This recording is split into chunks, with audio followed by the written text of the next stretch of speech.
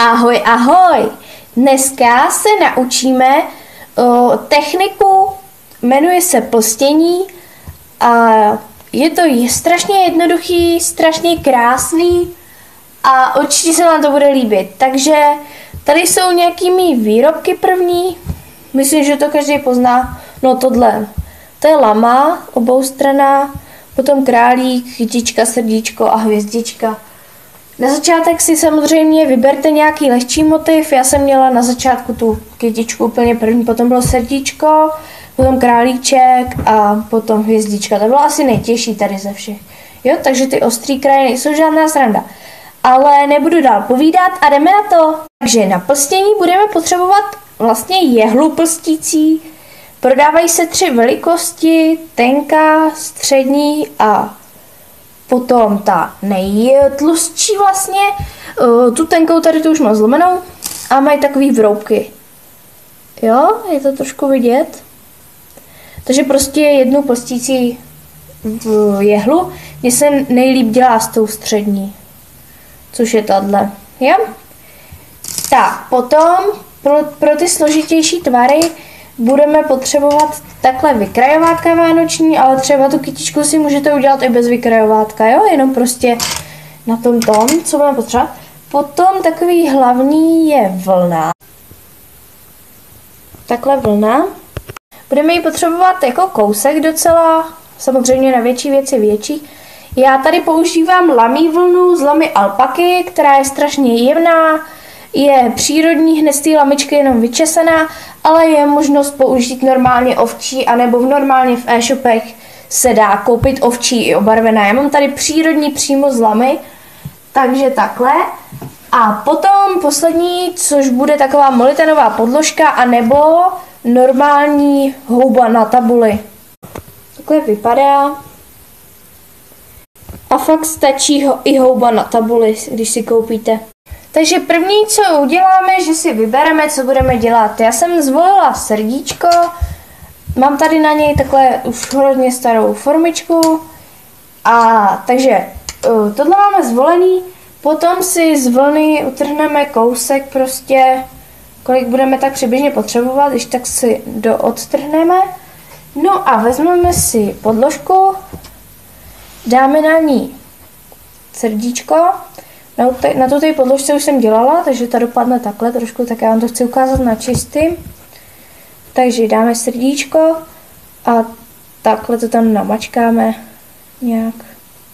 Ono se toho vzít míň, ale nebojte, ono se to splaskne strašně. Takže teď si vezmu jehlu, seženete ji normálně v tvořilce, nebo i na internetu, já mám z internetu, a začneme prostě píchat do toho Prostě to propichujeme. Slyšíte tu ten molitán, jak prostě Tak, ty jehly jsou hodně ostrý, takže na to pozor. Propichujeme pořád. Já jsem si dal fakt hodně té vlny. Na začátek si zkuste míň. Dopadne vám takhle slabší vrstva, jo? A prostě pořád propichujeme, jo? Fakt, dokud se to až neudělá. Takže takhle fakt jedna vedle druhý a pořád docela ne dlouho, no ale prostě musíme propichovat dlouho docela. Ne dlouho.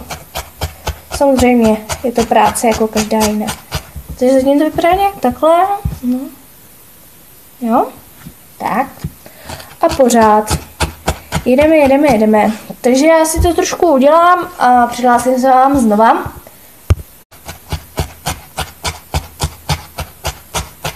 Tak, určitě nezapomínáme na kraje, jo, všude. To propíchneme.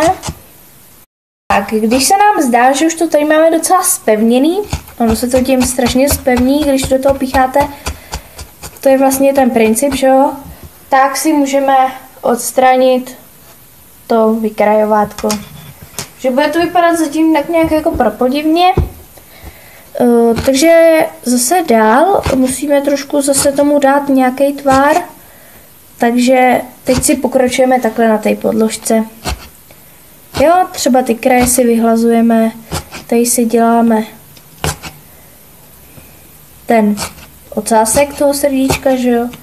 takhle ty kraje si spevním, že takhle píchnu jako že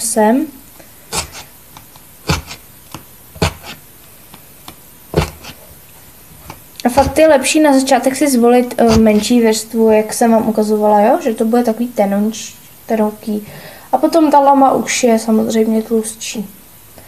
To už je potom makačka, jako to všechno dobře spojit a a potom, když budete dělat ty uh, snažší vzory, jak už jsem říkala, třeba tu kytičku, tak tu nemusíte vůbec dělat. Tu si prostě jenom hodíte vlnu a jedete. Jo, tu nemusíte si vůbec brát žádný vykrajovátko, ale na ty těžší vzory, jako třeba ten králík nebo i ta hvězdička, tak je to lepší si aspoň udělat ten základ.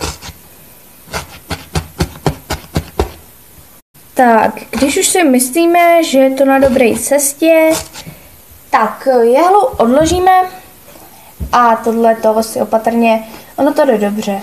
Prostě si to sundáme z toho. Jo? Na té straně to bude takový, um, no prostě jak to tam bylo do té houbičky dan zapíchan. Tady teď to musíme z druhé strany tu aplikaci opakovat vlastně. Jo, takže zase pícháme, pícháme, pícháme. Dokud zase se ta vlna nespevní a nebude mít nějaký tvar. Pěkný, pevný.